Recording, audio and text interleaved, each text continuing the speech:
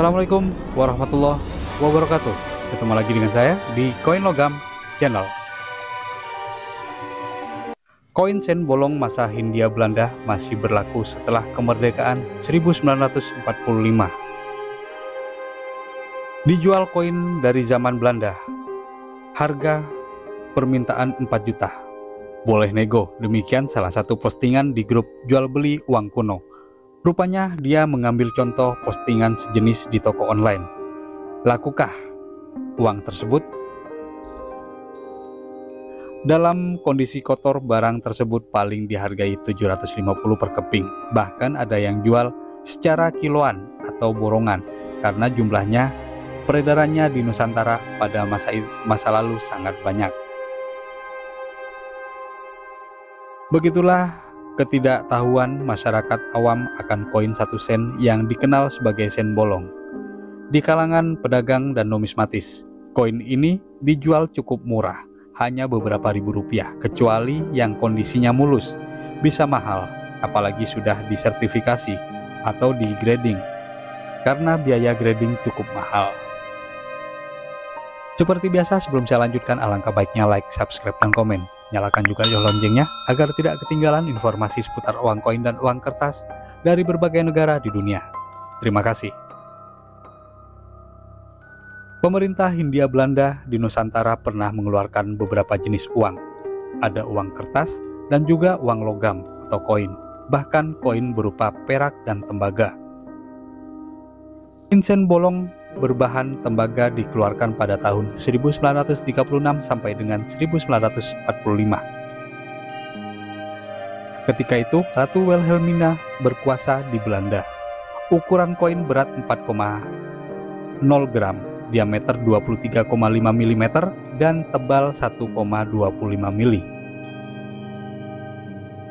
Pada bagian overs atau depan, terdapat gambar padi tulisan Nederland Indi di atas dan nominal 1 sen di bawah. Pada bagian belakang terdapat aksara Jawa dan Arab yang berarti per 100 rupiah. Nah, ini menariknya, koin bolong sen memiliki tiga bahasa.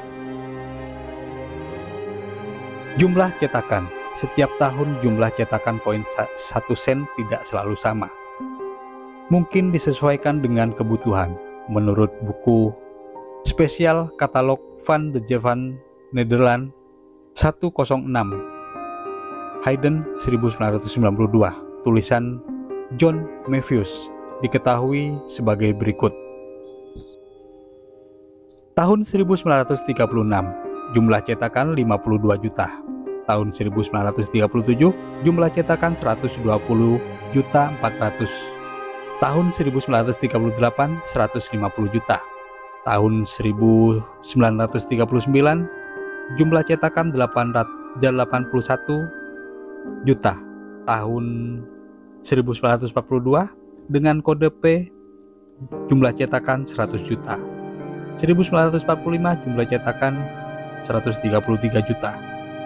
1945 kode P juga 335 juta. Tahun cetakan 1945 kode S 102 juta. Nah, kalau kita lihat perhatikan dengan seksama di belakang angka 1942 dan 1945 ada aksara D, P dan S. Apa apakah artinya? Pada tahun 1942, pasukan Jepang mulai menguasai Nusantara. Karena itu pemerintah Hindia Belanda mengasingkan diri ke Australia, maka koin satu sen itu dicetak di beberapa tempat percetakan uang di Amerika Serikat, yakni di Denver, Philadelphia, dan San Francisco, dengan harapan menguasai kembali Nusantara.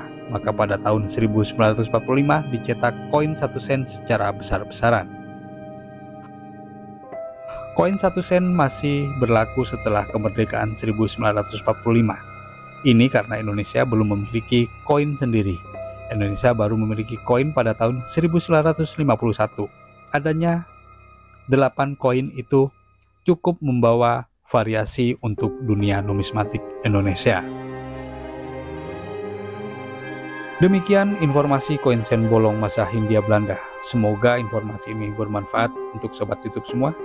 Jangan lupa like, subscribe, dan komen. Nyalakan juga loncengnya agar tidak ketinggalan informasi seputar uang koin dan uang kertas dari berbagai negara di dunia. Terima kasih. Wassalamualaikum warahmatullahi wabarakatuh.